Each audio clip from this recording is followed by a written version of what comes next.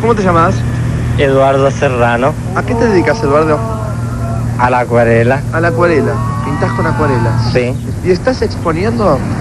pienso hacer algo. ¿Cuándo? No lo sé porque he llegado ahora de Europa. ¿Estuviste en España? ¿Estuviste en, En Italia? España, en Holanda, en Italia, en Francia, en Alemania, en Inglaterra, Uh, en Bélgica, en muchos lugares. ¿Sos, soli- sos solo? Sí. ¿Conoces otros pintores de acá?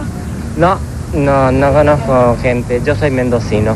Qué lástima no tener nada para ver, ¿eh? Flaco, si te querés quedar, estamos Lo hablando de lamento. arte y pintura. Lástima. Hola. ¿Cómo estás? Lo lamento, no puedo. Qué lástima. No me, no me digas, espérate. A ver, a ver, a ver, a ver, a ver. A ver, a ver, a ver. Eduardo, ¿Viste? Yo te dije que me conoce mucha gente. no lo puedo creer. Te conocí en España, en Barcelona. ¿Sí? ¿Puede ser? ¿Sí? Te tenés que acordar de mí. ¿Vos pintás? ¿Sí? ¿Quién sos vos? A ver si se acuerda de vos. ¿Quién sos? Ricardo ¿Sí? ¿Ricardo qué? Boglioli. Sí, sí, yo me acuerdo de él. ¿Sí?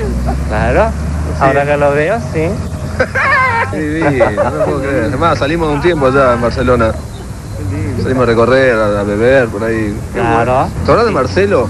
Mm, Marcelo que salió con, salió con, con Vivi Anderson.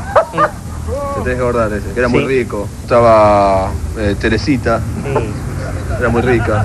Que hacía Hacía. danzas. sí. Bueno, como dije antes, Villarruel, un plástico. Sí.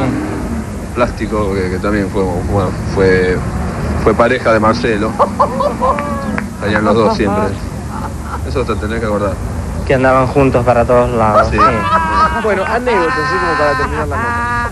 Y yo recuerdo una noche estábamos en Barcelona, en el hotel, y era el cumpleaños de Villarroel, me acuerdo. Y estaban todos.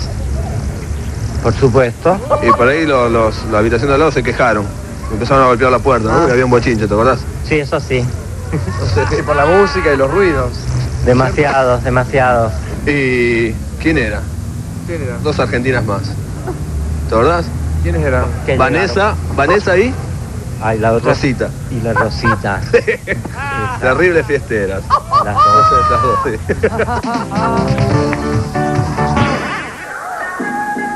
estaban bailando una coreografía en ritmo de la noche en Japón.